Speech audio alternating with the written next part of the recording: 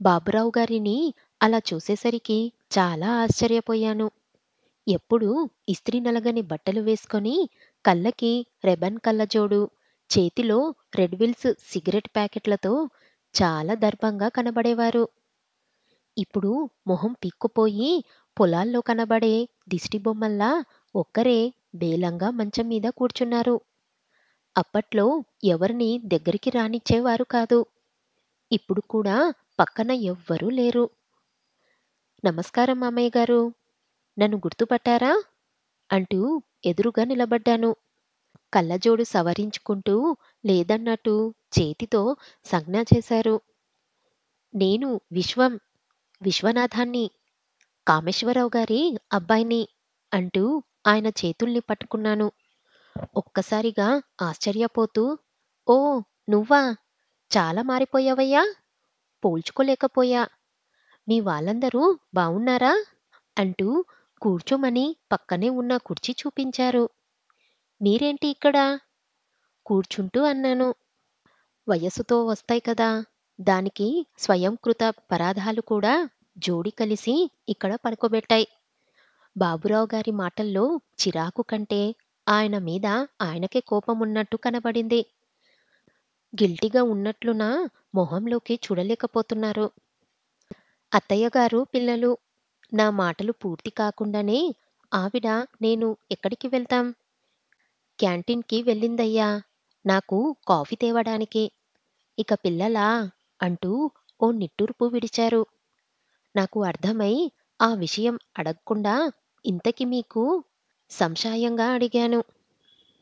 ఆ మధ్య కరోనా వచ్చిందిలే. తర్వాత అప్పుడప్పుడు ఏదో హడావిడి చేస్తుంటుంది.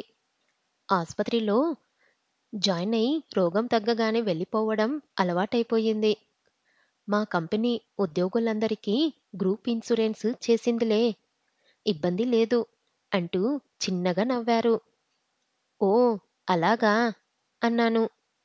ఈసారి ఆయన బిగ్గరగా నవ్వుతూ ఈ గ్లోబల్ యుగంలో రోగం వస్తే గాని మనుషుల మధ్య దూరం ఎంత పెరిగిపోయిందో తెలియడం లేదు. మిగిలిన ఆ కొద్దిపాటి అభిమానాలు కూడా ఈ మధ్య కాలంలో మంట కలిసిపోయాయి. ఓ రకంగా ఈ గ్రూపు ఇన్సూరెన్స్‌ల వలన మాత్రం మనుషులందరూ భౌతికంగా కలిసినా, కలవకపోయినా అందరూ ఒక కరెంటు తీగ మీద పక్షుల్లా కలిసి కనబడతారు అన్నారు. ఆయన మాటలు నాకు అర్థమవ్వడానికి అట్టేసేపు పట్టలేదు. భావగర్భితంగా ఓ నవ్వు నవ్వి ఊరుకున్నాను. ఆయనకి ఏదో జ్ఞాపకం వచ్చి నా వైపు ప్రశ్నార్థకంగా చూస్తూ ఇంతకీ మీ అమ్మా నాన్న, నువ్వు ఇప్పుడు ఇక్కడ ముక్కలు ముక్కలుగా దీర్ఘాలు తీస్తూ అడిగారు. మా అమ్మా నాన్న బానే ఉన్నారు. అందరం ఒక దగ్గరే ఉన్నాం. ఈ ఊరికి మీరు తూర్పులో ఉంటే మేం పశ్చిమలో ఉన్నాం కదా! మిమ్మల్ని మళ్ళీ కలుసుకోలేకపోయాం. మా ఆఫీస్‌లో పనిచేసే ఒకతనికి ఒంట్లో బాగాలేక ఇక్కడ జాయిన్ అయ్యారు. ఆయన్ని చూడటానికి వచ్చాను. అంటూ అవును ఇన్సూరెన్స్ కంపెనీ వారు రూమ్ రెంట్ కూడా ఇస్తారు కదా! మీరు సెపరేటు రూము తీసుకొని ఉంటే బాగుండేది కదా! చుట్టూ చూస్తూ అన్నాను. ఆ ఆసుపత్రిలో అది జనరల్ వార్డ్. ఓ పాతిక ముప్పై మంది పేషెంట్లు. వాళ్ళ పక్కనే వాళ్ళ మనుషులు కుర్చీలో ఉన్నారు. ఇప్పటికే మన బతుకులు గోరి బతుకులు అయిపోయాయి. పెద్ద పెద్ద ఇళ్ళన్నీ పడగొట్టి ఆకాశమంతా ఎత్తు సమాధులు కట్టుకున్నాం. పది మంది ఉండే స్థలంలో ఇప్పుడు వంద మంది ఉంటున్నాం. కానీ ఏం లాభం? ఎవరి సమాధి వారిది? తలుపులు మూసుకుంటూ బంధాలు తెంపేశాం. ఆ జీవితానికి విసుగెత్తిపోయి కనీసం ఈ ఆస్పత్రిలోనైనా పది మంది మధ్య ఉండాలనిపించిందయ్యా! నిర్లిప్తంగా తల దించుకొని అంటున్న బాబురావు గారిని మాటలు వింటూ విస్తుపోయాను. ఆ మాటల్లో పశ్చాత్తాపం కొట్టొచ్చినట్లు కనపడింది. బాబురావు గారి మాటల్లో మార్పు కనబడేసరికి ఒక్కసారిగా నా ఆలోచనలు గతంలోకి జారుకున్నాయి. విజయనగరం నుంచి మా నాన్నగారికి విశాఖపట్నం బదిలీ అయిన తర్వాత బాబురావు గారి ఇంట్లో మేం అద్దెకి దిగాం. అప్పటికే మా ఇద్దరు అక్కలకి పెళ్ళిళ్ళయ్యాయి. విశాఖపట్నంలోనే స్థిరపడ్డారు.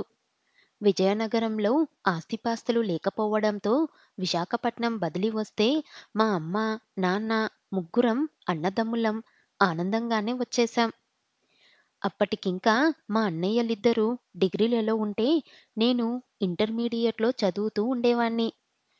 రెండంతస్తుల ఆ ఇంట్లో పైన బాబురావు గారు ఆయన భార్య ఇద్దరు పిల్లలు ఉండేవారు. మేం కింద వాటలో అద్దెకి ఉండేవాళ్ళం. రెండు వరుసల్లో మూడేసి పెద్ద గదులు రెండు పెట్టెల్లా ఉండేవి. వెనుక గదిలో వంట చేసుకొని అందరం అక్కడే కింద కూర్చొని భోజనాలు చేసేవాళ్ళం. ముందు వెనుక పెద్ద పెద్ద వరండాలు చిన్న పెరుడు చుట్టూ ప్రహరీ గోడలతో నాలుగు వందల గజాలతో ఆ ఇల్లు విలాసంగా ఉండేది. తరువాత ఏడాదిలో మా పెద్దన్న డిగ్రీ అవగానే విశాఖపట్నంలోనే ఉద్యోగం వచ్చింది. మరో ఏడాది తర్వాత మా చిన్నన్నయ్య డిగ్రీ అవగానే ఉద్యోగం వచ్చి రాజమండ్రి వెళ్ళిపోయాడు. ఆ ఏడాదే మా పెద్దన్నయ్య పెళ్ళి జరిగింది. నేను ఇంటర్ అవ్వగానే ఇంజనీరింగ్లో చేరాను. నాలుగో సంవత్సరం చదువుతున్నప్పుడు క్యాంపస్ ఇంటర్వ్యూలో ఉద్యోగం రావడంతో చదువు అవగానే హైదరాబాదు వెళ్ళిపోయాను. నాకు ఉద్యోగం వచ్చేప్పటికీ మా నాన్నగారు రిటైర్ అయినా మా పెద్దన్న ఉద్యోగం అక్కడే కావడంతో ఆ ఇంట్లోనే ఉండిపోయారు. అప్పటికే వాడికి ఇద్దరు పిల్లలు. ఏడాది తేడాలో నాకు మా చిన్నన్నయ్యకి వివాహాలు జరిగిపోయాయి.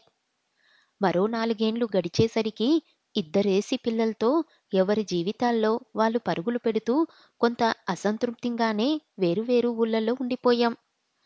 అదృష్టవశాత్తు మా చిన్నన్నయ్యకి ప్రమోషన్ వచ్చి తిరిగి పోస్టింగ్ విశాఖపట్నంకి వచ్చింది. ఇక నేను హైదరాబాద్లో ఉండలేక ఉద్యోగం రిజైన్ చేసి విశాఖపట్నం వచ్చి బ్యాంకు లోను తీసుకొని స్టీల్ ప్రాజెక్టు ఏరియాలో ఓ స్టార్టప్ కంపెనీ పెట్టాను. అలా అందరం తిరిగి ఆ ఇంట్లోకి చేరిపోయాం. ఎనిమిది మంది పెద్దవాళ్ళు ఆరుగురు చిన్నపిల్లలతో ఇల్లు ఇరుగ్గా ఉన్నా ఆనందంగా సర్దుకుపోయేవాళ్ళం. ఉన్నట్టుండి ఓ రోజు బాబురావు గారి భార్య మా ఇంట్లోకి వస్తూ కౌరవ కుటుంబాల ఇంతమంది ఈ ఇంట్లో ఉంటే ఇల్లు పాడైపోతుంది. నీళ్ళు సరిపోవడం లేదు. ఇల్లు ఖాళీ చెయ్యండి అంటూ అల్టిమేటం ఇచ్చి వెళ్ళిపోయింది. ఆ మాటలు వింటూనే మా నాన్నగారు ఒక్కసారిగా షాక్కి గురయ్యారు. సాయంత్రం మా నాన్నగారు బాబురావు గారితో మాట్లాడి అద్దె పెంచారు. ఆ ఏర్పాటు కూడా ఓ నెలే పనిచేసింది ఈసారి బాబురావు గారే వచ్చి అయినా ఈ రోజుల్లో పద్నాలుగు మందికి ఇల్లు అద్దెకివ్వడం మాదే బుద్ధి తక్కువ. మీ గోల భరించలేం. నెల రోజులు టైం ఇస్తున్నాం. ఈలోగా ఖాళీ చెయ్యండి అంటూ ఖరాఖండిగా తేల్చి చెప్పేశారు. వాకిట్లో పిల్లలు ఆడుకుంటూ ఉంటే ఏమిట్రా గోలా? అంటూ విసుక్కునేవారు. అందరం హాల్లో కూర్చొని సరదాగా మాట్లాడుకుంటుంటే వారికి నచ్చేది కాదు. పండగలకి అందరం కలిసి ఇంట్లో పేకాట ఆడుకుంటుంటే ఇది ఎల్లా క్లబ్బా? అంటూ గట్టిగా అరిచేవారు. అసలు పది మంది కనబడితే వాళ్ళకి ఇష్టం ఉండేది కాదు. ఇక గత్యంతరం లేక ఇళ్ళవేటలో పడ్డ మాకు నిరాశే ఎదురయ్యింది. అంతమందికి సరిపోయే ఇల్లు దొరకలేదు. ఒకటో రెండో ఉన్నా పద్నాలుగు మందా అంటూ ఇవ్వమని మొహం మీదే చెప్పేశారు. అప్పుడే కొత్తగా అపార్ట్మెంట్లు కడుతుండడంతో నాలుగైదు గదులతో విశాలంగా ఉండే ఇళ్ళ స్థలంలో అపార్ట్మెంట్లు వెలిశాయి. ఆఫీసులకు దగ్గరగా ఉంటుందని చెప్పి గాజువాక ఏరియాలో ఒకే అపార్ట్మెంట్లో ఒకే అంతస్తులో మూడు ఫ్లాట్లు తీసుకొని వెళ్ళిపోయాం. అదిగో ఆ తర్వాత మళ్ళీ బాబురావు గారిని కలవడం ఇదే. ఎవరో గుర్తుపట్టావా? అంటూ అప్పుడే అక్కడికి వచ్చిన భార్యకి నన్ను చూపిస్తూ అడిగారు బాబురావు గారు. ఆవిడ అనుమానంగా నన్ను చూశారు. నేను విశ్వని అత్తయ్య గారు. మీ వాటల్లోకుండేవాళ్ళం కదా. కామేశ్వరరావు గారి మూడో అబ్బాయిని అంటూ రెండు చేతులు జోడించా. నువ్వా విశ్వం? ఎంత మారిపోయావయ్యా? మిమ్మల్ని చూసి చాలా కాలమైపోయింది ఏది? ఒకే ఊరిలో ఉన్నాం అన్నమాటే గాని ప్రపంచం కనబడకుండా నాలుగు గోడలు కట్టేసుకొని ఆ గోడల మధ్య జీవితాలు నడుపుతున్నాం. సర్లే మా సంగతులకేం గాని అమ్మా నాన్న బాగున్నారా? అంటూ నా దగ్గరకొచ్చి ఆప్యాయంగా తల నిమురుతూ అడిగారు. ఏవిటో ఆ రోజులే వేరు. మీ నాన్నగారు అందరూ కలిసి ఉండేలా మిమ్మల్ని పెంచారు. ఎవరి గోరిలు వాళ్ళు కట్టుకొని ఉండేలా మా పిల్లల్ని పెంచాం. దాని ఫలితమే ఇప్పుడు అనుభవిస్తున్నాం. బాబురావు గారి మాటలకు ఆజ్ఞాయిస్తూ సరే సరే ఎప్పుడూ ఉండే భాగవతమే కాని విశ్వం మీ అమ్మా నాన్న ఎక్కడున్నారు? మీ అన్నయ్యలు, అక్కయ్యలు ఎలా ఉన్నారు? అంటూ జానకమ్మ గారు ప్రశ్నల వర్షం గుప్పించారు. అందరం కలిసే ఉన్నాయి అత్తయ్యగారు. ఇక్కడ్నుంచి గాజువాక వెళ్ళాం. అక్కడ్నుంచి కుర్మానపాలెంలో ఒకే అపార్ట్మెంట్లో మూడు ఫ్లాట్లు కొనుక్కొని అందరం అక్కడే ఉన్నాం. అక్కలు కూడా ఇప్పుడు ఈ ఊర్లోనే ఉన్నారు. వాళ్ళు బావున్నారు అంటూ అందరి గురించి చెప్పాను. అవును ఒక విషయం చెప్పు.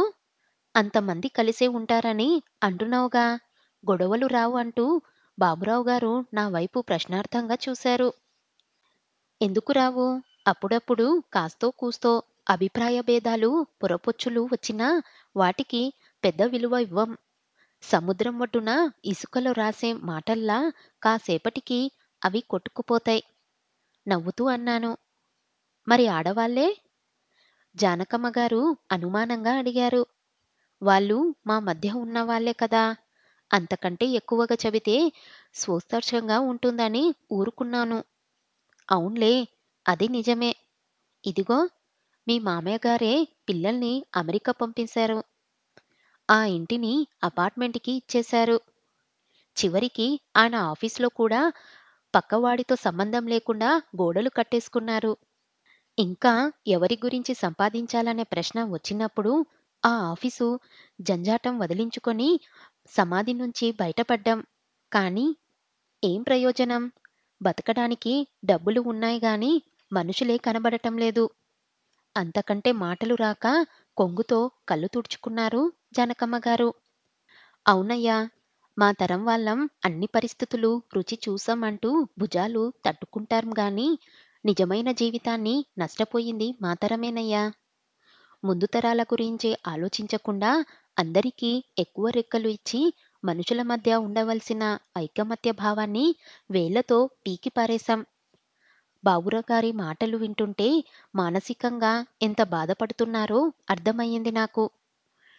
టాపిక్ మార్చి మరో ఐదు నిమిషాల కబుర్లు చెప్పి నాకు మా కంపెనీ మీటింగు ఉంది. వెళ్ళాలి. ఈసారి అందరం కలిసి మీ ఇంటికి వస్తాం. ఈలోగా మీకు ఏ అవసరమున్నా నాకు ఫోన్ చెయ్యండి. అంటూ నా వికార్డు ఇచ్చి అక్కడి నుంచి వచ్చేశాను.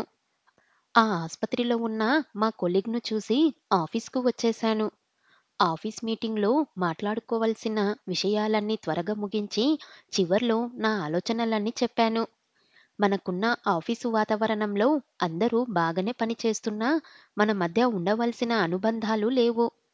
ఉదాహరణకి మన మాధవరావు గారి ఒంట్లో బాలేక వారం రోజుల నుంచి ఆసుపత్రిలో ఉంటే ఏ ఒక్కరూ ఆయన్ని చూడ్డానికి వెళ్ళలేదు. ఇది చాలా దురదృష్టం. నిజానికి మన చుట్టూ ఉన్న సమాజమే అలా ఉందిప్పుడు. ఒప్పుకుంటాను. అయితే మొత్తం సమాజాన్ని మనం సరిదిద్దలేం. కానీ ఒకే ఆఫీసులో పనిచేసే మన మధ్య కూడా ఉండవలసిన ఐక్యత లేదంటే మనలో కూడా ఏదో లోపముంది. ఈ లోపాన్ని దిద్దుకోవాలి. ఇందుకు మొదటి మెట్టుగా మన ఆఫీసులో ఉద్యోగాల మధ్య ఉన్న గోడలన్నిటినీ తీయించేద్దాం. విశాలమైన హాల్లో అందరికీ అందరూ కనబడేలా సిట్టింగ్ అరేంజ్ చేద్దాం. అందరూ ఎవరి పనుల్లో వాళ్ళు బిజీగా ఉన్నా ఆఫీసు నిండుగా చూడ్డానికి ఆహ్లాదకరంగా ఉంటుంది. అధికారులు కూడా వారి మధ్య ఉంటారు కనుక పని తప్పించుకోవడానికి మార్గాలు ఉండవు. ఎక్కడో అమెరికా వాడు అంటే ఇలా ఉండాలని చెబితే మనం గుడ్డిగా అనుసరించి ఇప్పుడు మన మధ్య దూరాలు పెంచుకున్నాం. ఆ దూరాలు పోవడానికి ముందు ఈ మార్పుతో శ్రీకారం చుడదాం. మెల్లమెల్లగా మరికొన్ని పద్ధతులు మార్చుకుందాం. మంచి ఫలితాలు తప్పకుండా వస్తాయి. అంటూ కొత్త అధ్యయనానికి తెరదించి మీటింగ్ ముగించాను. సాయంత్రం ఇంటికి వెళ్తుంటే పదేండ్ల క్రితం ఒకే అంతస్తులో మూడు ఫ్లాట్లు కొని వాటి మధ్య ఉండే గోడల్ని తీసేసి ఒకే ఇంటిలా స్వరూపం మార్చి మేమందరం కలిసి గృహప్రవేశం చేసిన విషయం జ్ఞాపకం వచ్చి తృప్తిగా గాలి పీల్చుకున్నాను.